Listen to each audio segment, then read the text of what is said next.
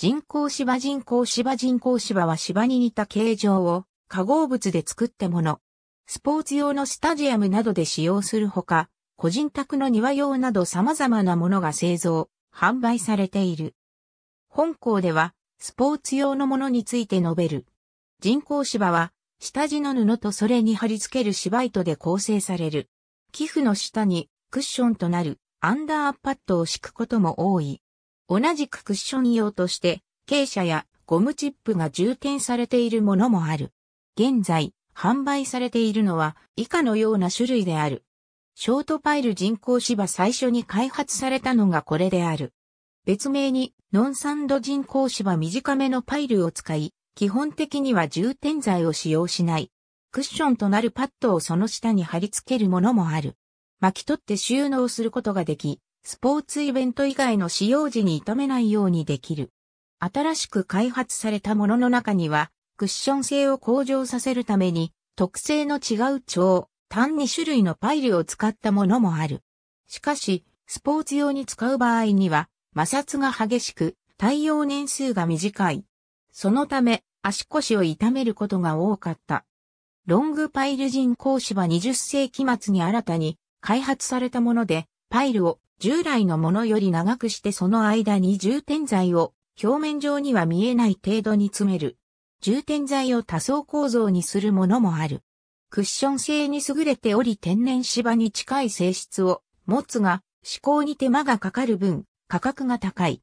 メンテナンスは充填剤のコンディション維持に手間がかかる。一方、初期性能を維持しやすいメリットもある。充填剤があるため、巻き取ることは不可能。充填剤の重量があるので収納することはできない。スポーツイベント以外の使用時は上にシート養生をする。サッカーラグビー場で使用されるのは、もっぱらこちらとなるが、アメリカンフットボールや野球場でも多用されている。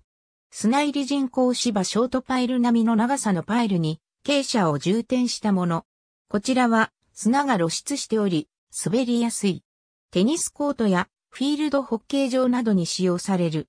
屋外用に透水性を高めたコンクリート、寄付、アンダーパッドが使用されたものがあり、特に透水性人工芝と呼称される。なお下には、採石や排水管なども埋め込まれる。1965年、アメリカ合衆国に世界初の屋根付き野球場、アストロドームが誕生した。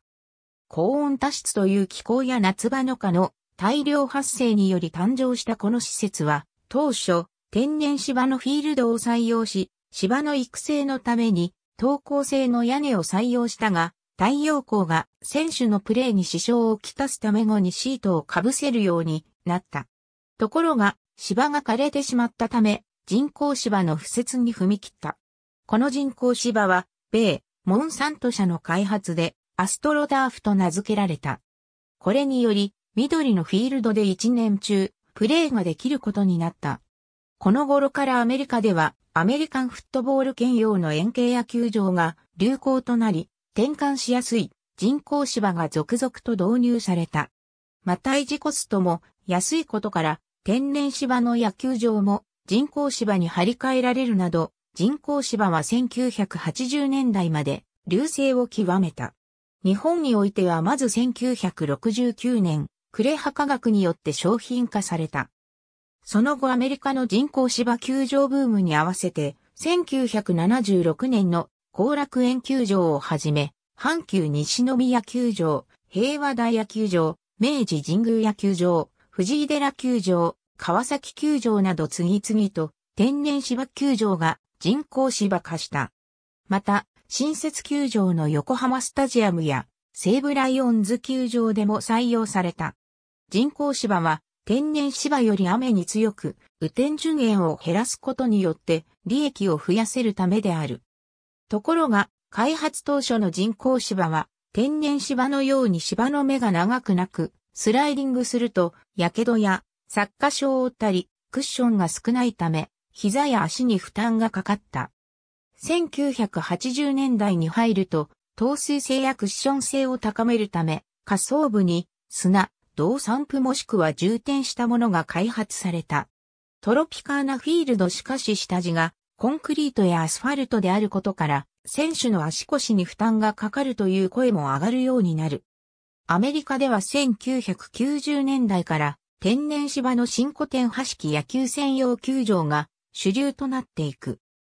現在ではメジャーリーグのチームの本拠地で人工芝球場なのはトロピカーナフィールドとロジャーズセンター、チェイスフィールド、グローブライフフィールドの4球場のみで、ロジャーズセンターは一度は天然芝化を発表したものの頓挫し、チェイスフィールドは2019年に天然芝から張り替えられ、グローブライフフィールドは2020年に人工芝球場としてオープンした。また韓国区房リーグでは、公爵スカイドームだけが人工芝で他の球場では人工芝だったところも天然芝に張り替え直している。その一方、芝の維持にかかる経費や多目的性、気候面を重視する日本では、1990年代以降も人工芝のドーム球場が次々と建設され、地方球場でも人工芝の球場が建設されている。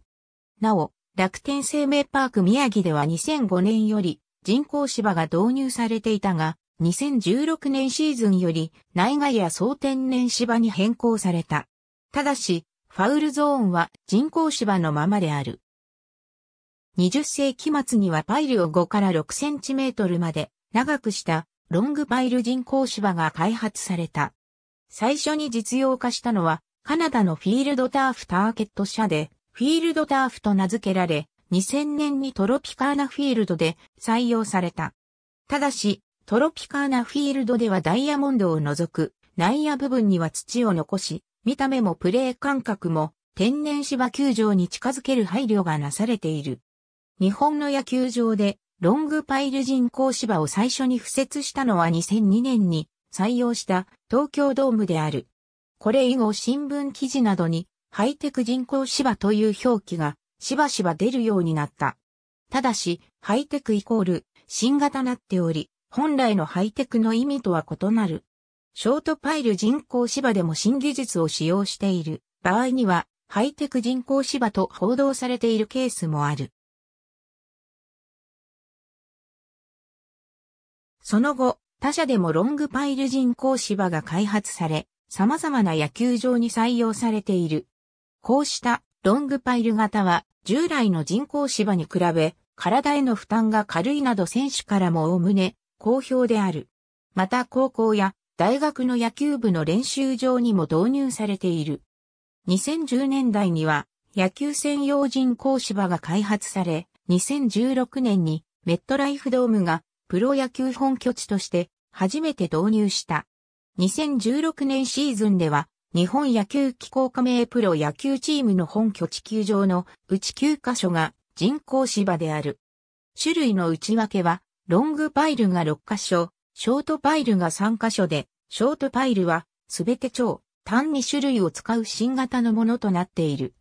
また9箇所とも2011年以降に新しい人工芝が導入されている。球場によっては内野の走路部分やウォーニングゾーンを土色に変えて総天然芝球場のようにしているが、名古屋ドームではそのスタイルをやめて元に戻している。阪神甲子園球場は、内野はクレー、外野は天然芝であるが、1.3塁側ファウルゾーンの一部を人工芝にしている。エンドゾーンにヘルメットが描画されたカウボーイズスタジアムアメリカンフットボールの競技場は季節的な問題及び競技の性質により芝が傷みやすいため人工芝が多い。NFL の一部のスタジアムで使用されており、特に専用スタジアムで採用される傾向が強い。1968年より、ヒューストンオイラーズがアストロドームを本拠地として、以来、野球兼用を中心にアストロダーフが多く採用されたが、2000年代に入ってからは、ロングパイルを採用した専用スタジアムに移転する球団が目立つ。ロングパイルとなってからは、ラインやエンドゾーン、ロゴなどを着色したもので付設して描くスタジアムも多い。日本の X リーグや大学リーグの試合会場は人工芝にしている会場が多い。大阪市長井球技場はアメリカンフットボールでの利用を想定し、野球場以外における日本初の人工芝球技場として開場したが、現在は口述の通りサッカーなどでの利用を前提に天然芝に転換されている。ただし、転換後も周囲に人工芝のスペースを若干残しており、X リーグ公式戦での利用は継続。一方、日本初の専用スタジアムであるエキスポフラッシュフィールドもロングパイルが敷かれている。また、アミノバイタルフィールドや神戸市王子スタジアムのように、アメフト仕様への転換を目的として人工芝に変えた競技場も存在する。埼玉スーパーアリーナではアメフト用の巻き取り式人工芝をアリーナに付設することができる。リバーバンクアリーナ1976年、モントリオールオリンピックで天然芝の競技場を調達できなかったため、人工芝を採用したが、天然芝より急速が上がり試合展開もスピードアップしたため、それ以降、フィールドホッケーの大きな大会は人工芝で行うことになっている。基本的にコンクリートかアスファルトの上に直接敷くことが多かったが、ここ数年の特に国際試合では天然芝に近い感触にするためと、玉足が速くなることを踏まえて、砂入りのものか、ショートパイルタイプにゴムクッションなどを装着したものが原則として使用されている。2012年ロンドン五輪で使用されたリバーバンクアリーナはポリエチレンファイバー製の青色人工芝を採用した。日本では駒沢オリンピック公園第2球技場岐阜県グリーンスタジアム広島広域公園第2球技場などが該当する。サッカー場では長らく導入されていなかったが、ロングパイル人工芝の開発によって練習場などでの人工芝の導入が各地で進みつつある。そのため近年では試合会場でも採用の動きがあり、特に冬季は積雪で天然芝の育ちが不十分とされる。北欧などではロングパイル人工芝を使ったスタジアムの設置事例がある。2003年に開かれた U-17 世界ユース選手権大会フィンランド。大会2006年の AFC アジアユース選手権大会のシンガポールジャランベサール、スタジアムでは人工芝を使用した会場で実際に試合が行われた。2015FIFA 女子ワールドカップカナダ大会では人工芝スタジアムで開催されたが、開催前には有力選手が男女差別と訴え物議を醸した。FIFA はロングパイル人工芝の審査と承認及び格付けを行っている。またアメリカ合衆国のメジャーリーグサッカーとその実質的な下部団体である北米サッカーリーグ及びロシアサッカープレミアリーグでは一部のスタジアムで人工芝が用いられている。将来的には水の確保が難しいため芝の育成が困難とされるアフリカ各地での普及も提唱されている。また、前出の強化天然芝を採用する競技場も目立つ。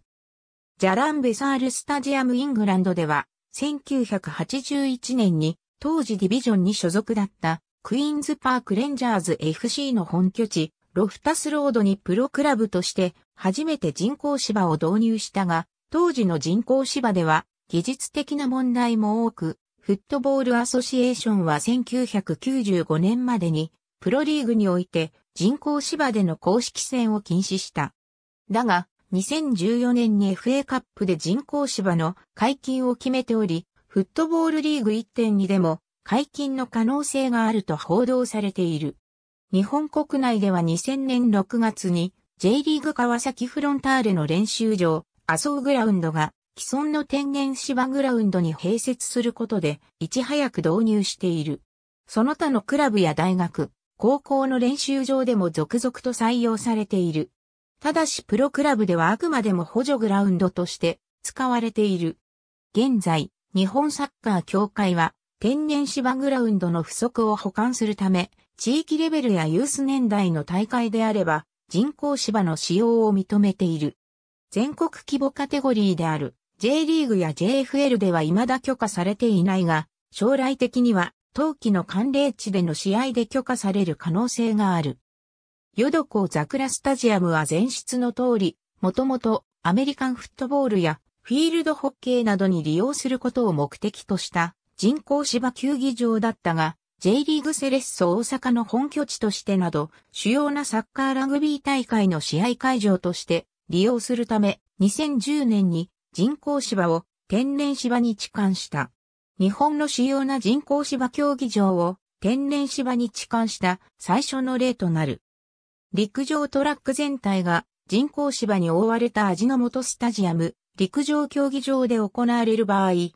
ールドと陸上トラックとの大きさの関係上タッチラインゴールラインの外側は天然芝の敷けるスペースが限られており、これを補うために外側に人工芝が敷かれることも多い。特にコーナーアーク周辺にはコーナーキックの足場を確保するために広い範囲に敷かれる。敷く範囲自体は任意で陸上トラック全体を覆うケースもある。ただ人工芝と天然芝では表面の特質が違うため、ライン際で足を取られる恐れがあり大隅義行は、人工芝の敷設は、見栄えのためのものだとして、敷設をやめるように求める意見を出している。サッカーから分化した競技であるフットサルでは、日本国内の多くのフットサルコートに人工芝が導入されている。ただし、海リーグなどの公式戦では、屋内の木あるいはウレタン製フロアでしか認められておらず、練習あるいは草レベルでの使用がもっぱらである。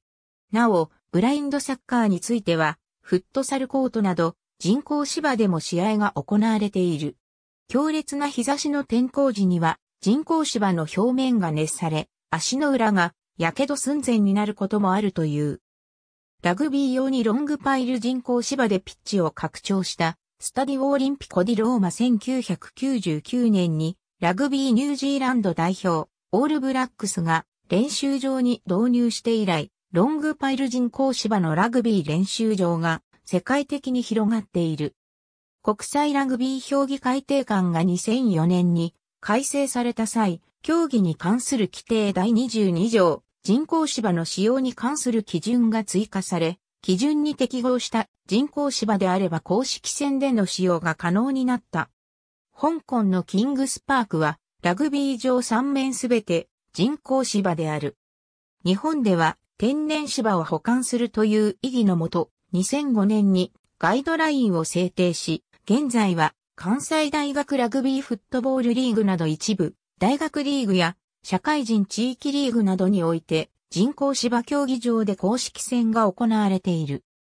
テストマッチやジャパンラグビートップリーグなど全国レベルの大会で使用される競技場での採用は皆無であるが、2019年、ラグビーワールドカップ、日本大会では一部競技場で人工芝導入せざるを得ない状況も想定されるため、2015年にガイドラインを改定し、国際試合で採用される見通しである。